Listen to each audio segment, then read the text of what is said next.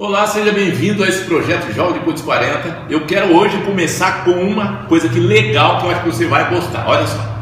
Você sabia que a atividade física e a circulação sanguínea pode prolongar a sua vida? Você sabia disso? Ok. Bom, não sei se você já parou para pensar nisso, mas olha o que eles falam o seguinte: a atividade física melhora a nossa circulação sanguínea, levando oxigênio nos seus tecidos, melhorando as células imunológicas do nosso corpo. E aí ele diz: ao melhorar o fluxo de sangue, vai facilitar muito, principalmente o nosso fígado, e também ajuda o corpo a desintoxicar substâncias potencialmente nocivas, incluindo o excesso de estrogênio que tudo isso provoca. Então veja bem, falando assim, a gente fala assim, poxa, mas e daí? Isso aí todo mundo sabe. A questão é, como diz o ditado, a gente não faz aquilo que a gente sabe, a gente faz aquilo que a gente está habituado a fazer. Se todo mundo sabe disso, se todo mundo conhece isso, todo mundo tem essa informação, por que, que todo mundo não pratica exercício físico?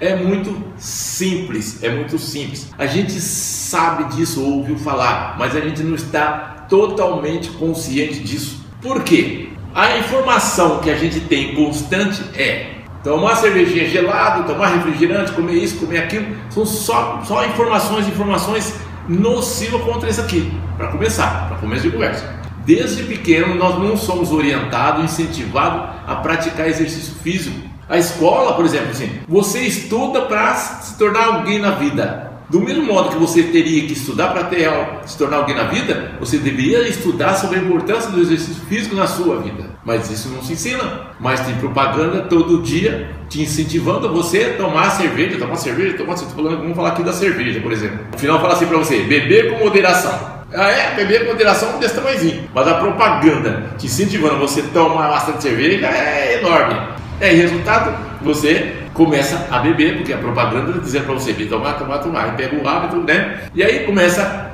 a ter a vida sedentária, porque não teve uma educação voltada para exercício físico, e depois de um certo tempo a gente começa a sofrer as consequências. Por que, que eu estou fazendo isso? Porque o, o objetivo desse projeto Jovem Depois 40 é exatamente isso, mostrar para as pessoas que nós temos que entender isso. Se você quer ser jovem depois dos 40, você está no lugar certo. O objetivo aqui é te falar disso, é te mostrar isso repetida vezes, com vídeo, vídeos diferentes, com informações diferentes, para que você comece a pensar em tudo que você aprendeu até agora, para que você comece então mudar algumas informações que podem estar atrapalhando a sua vida. Se você tem como hábito praticar exercício físico, parabéns para você. Agora, se você não tem, você tem que pensar sobre isso. Se você tem a preocupação, tem a informação e tem a preocupação de que a circulação sanguínea é realmente fundamental para prolongar sua vida, parabéns para você. Se você pratica isso, parabéns para você. Agora, se você tem essa informação e não pratica, não adiantará. Então, nosso objetivo aqui é exatamente isso. Vamos ter, fazer um equilíbrio entre corpo são e mente sã. E o que significa isso? No momento que eu tenho essas informações que eu coloco em prática, automaticamente eu vou ter minha corpo são. Não é isso? Eu espero que você tenha gostado dessa informação. Muito obrigado pela sua atenção. Um grande abraço. Até amanhã. Tchau.